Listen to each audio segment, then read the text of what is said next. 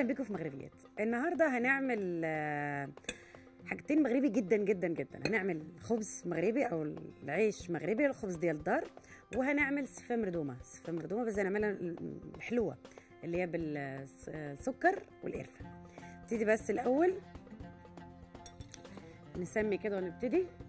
آه، مقادير اللي هو العيش أو الخبز المغربي الخبز ديال الدار. هحتاج معلقة صغيرة برضو.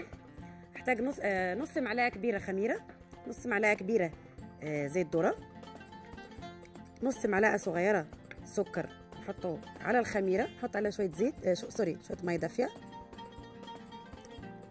وأسيبها تتكون مع نفسها. وهحتاج نص معلقة كبيرة سكر مع الدقيق.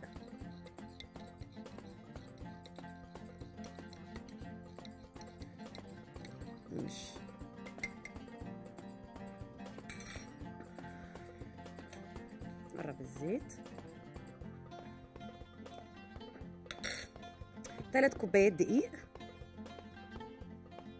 أوكي. نص معلقة كبيرة سكر. نص معلقة كبيرة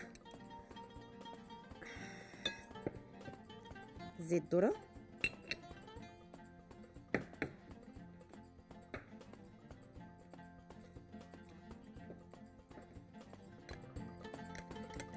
هستقلب بس الخميره شوية تاني زيادة.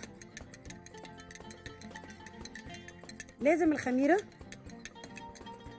تتحط في مية دافية قبل ما تتحط على الدقيق في أي حاجة تتعمل في حاجتنا إحنا في الحاجات يلا بسم الله. ونخلط. دول بس الأول. حاجة مهمة جدا. نص معلقة صغيرة. ملح. أنا بس عايزة أعمل إيه؟ عايزة أحط دي عشان متقدرش تتحرك. يلا بسم الله. نحط المية الدافية شوية بشوية عشان العجينة لحد ما تلم.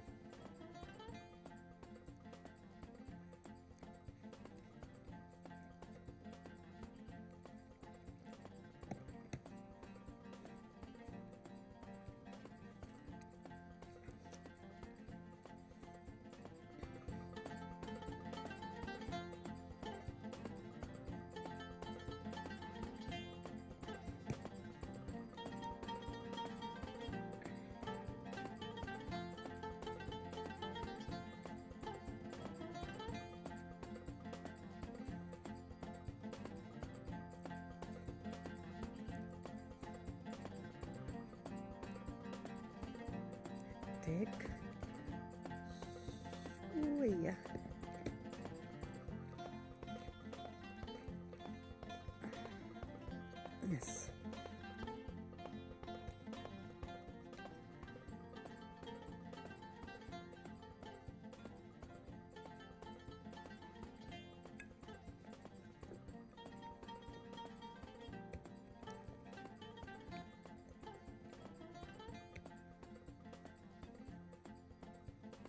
أنا بس لحد ما المها بس من البوله دي وبعد كده هطلعها على الرخامه.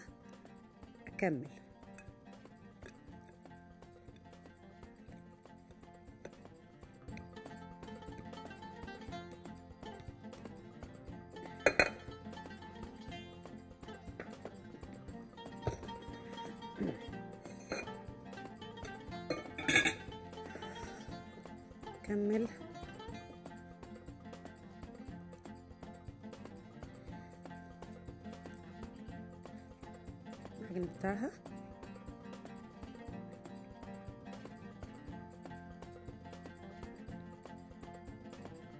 بصي بتبقى كده. يعني تجيبيها عليكي وترجعيها لورا تاني. عندنا في المغرب بنسميها بتدلاك كتدلكي العجينة. عشان تمشي معاكي في إيدك وتطرى.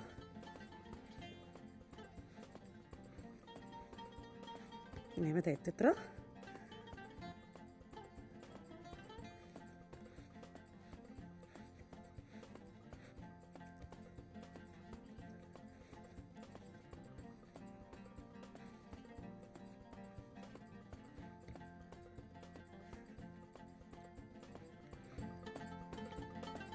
خلاص أنا كده العجينة بقت طرية. شايفة؟ يعني تحط فيها صوابع تمشي بالراحة. البولة فين؟ في البولة؟ تغطيها. طيب ممكن نغطيها بأي حاجة؟ ممكن تغطيها بحاجة نظيفة. وتسيبها تتخمر لمدة ساعة ونص. أحط دي هنا. أنا كنت مخمرة واحدة. أهي.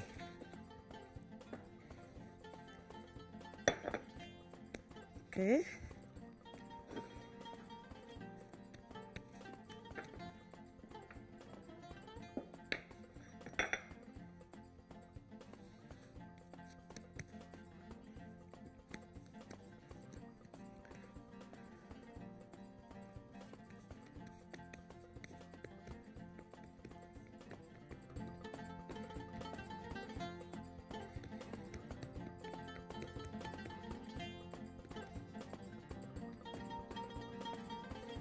هنعملهم خبيزات صغار.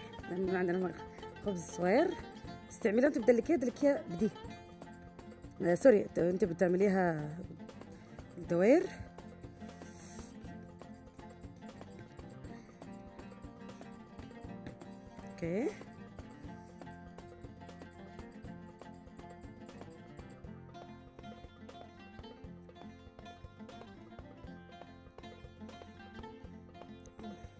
اتعوجت شوية من الجنب.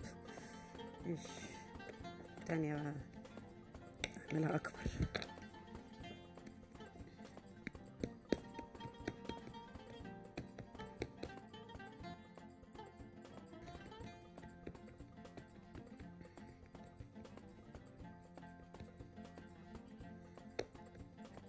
عايزة بس أطلع الصاج عشان أحط عليه على طول. فرن سخن.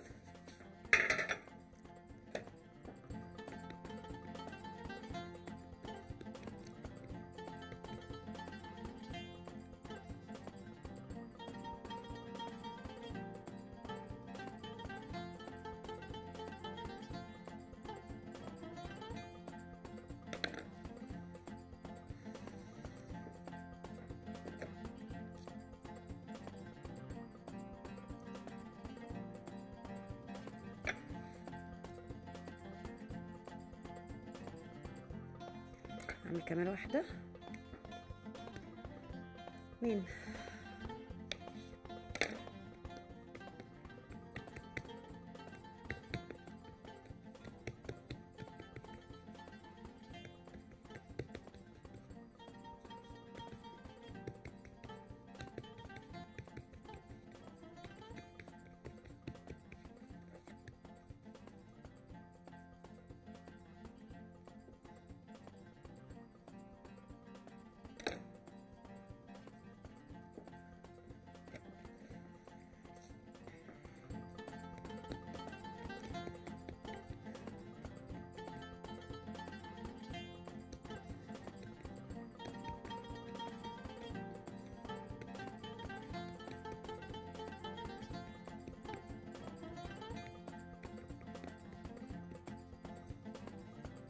مين عايزاها تبقى مربعة شوية.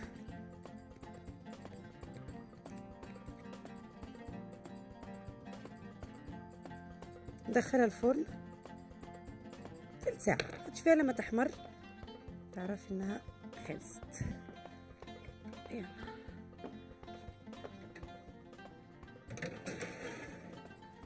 طيب أنا هغسل إيدي وهنطلع فاصل لما نرجع نعمل السفة المردومة.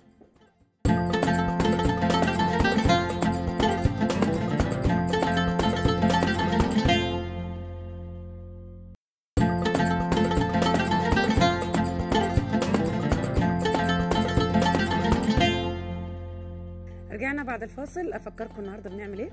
بنعمل عيش مغربي. حطها في الفرن. وبدا يكبر وهنعمل سفه مردومة. هقول لكم مقادير آه، سفه مردومة. بعد كده هقول لكم نفكركم تاني بلاش عملنا إزاي.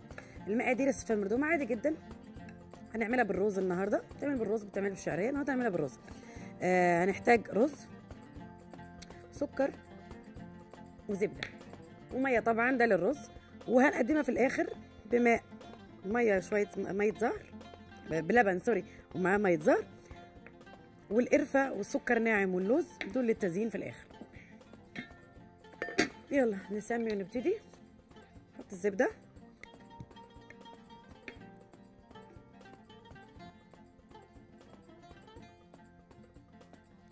دوب بس شوية. العيش المغربي عملناه إزاي؟ ثلاث كوبايات دقيق. نص معلقة كبيرة زيت نص معلقة كبيرة سكر ونص معلقة صغيرة أو معلقة صغيرة حسب الملح على حسب الذوق. دول بيتحطوا مع الدقيق. الخميرة بنحط نص معلقة سكر على نص معلقة كبيرة دقيق خميرة سوري تحط الأول مع شوية مية دافية. تحطوا الأول على بعض لحد ما تدوب الخميرة. تتساب تقريبا 3 دقايق. وبعدين تتحط مع الدقيق والحاجات دي كلها. تتعجن ب مية دافية تتحط كل شوية تزودي. وفي الآخر بتلميها يعني ما تبقاش طرية قوي العجينة. وتتلم.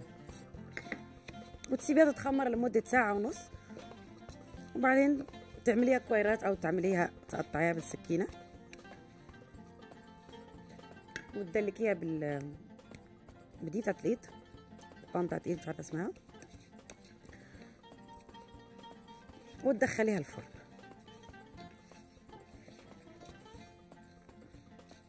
الزبدة تدوب.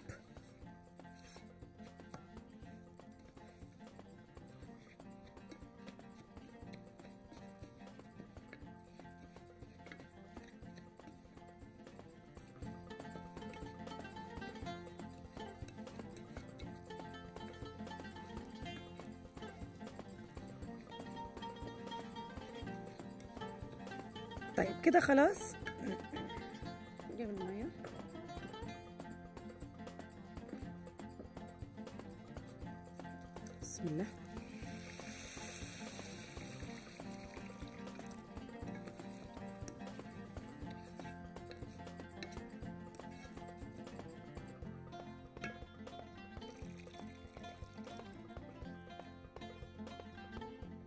زي الرز العادي التاني بالظبط.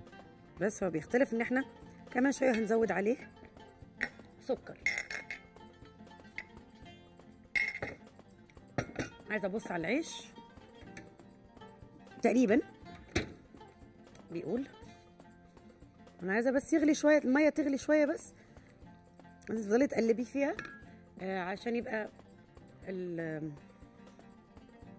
الرز مستوي زي بعضه.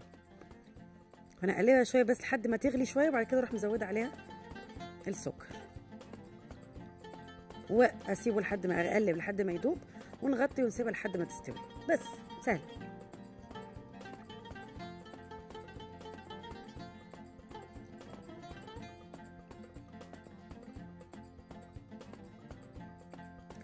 آه اسمها سفة الروز مش سفة مردومة معلش sorry. طيب كده خدت أول غلوة. بزود الرز بقلب عشان الرز آه sorry بزود السكر وأقلب عشان السكر يدوب.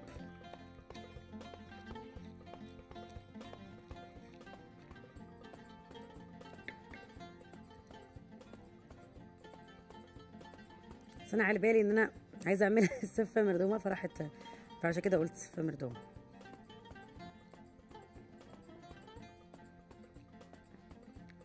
بس.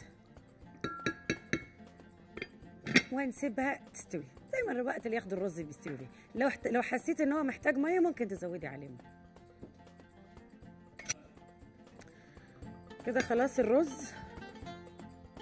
أهو فرول جميل زي الفل.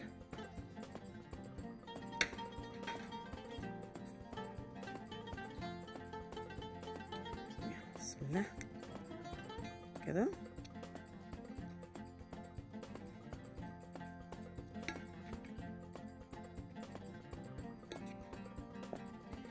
ده السفة الرز.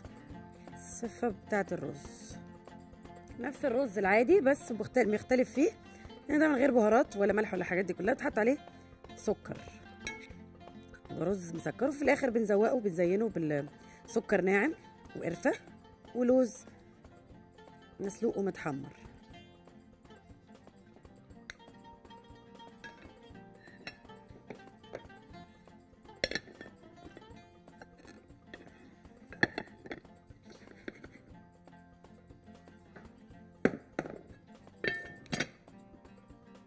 أوكي.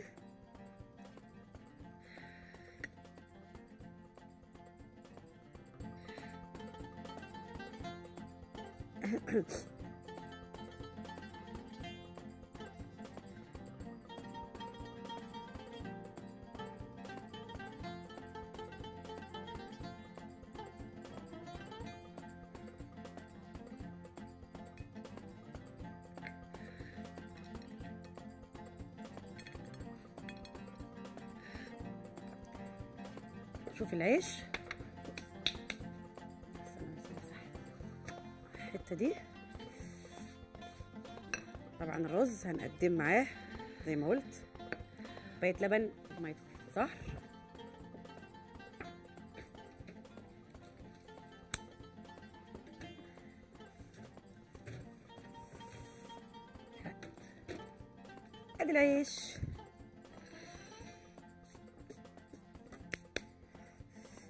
إزاي من جوه سخن قوي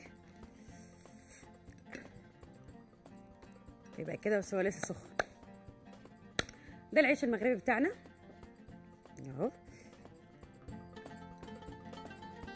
ودي صفة الرز يا رب تجربوهم في البيت ويعجبوكم بالهنا والشفا والصحة والراحة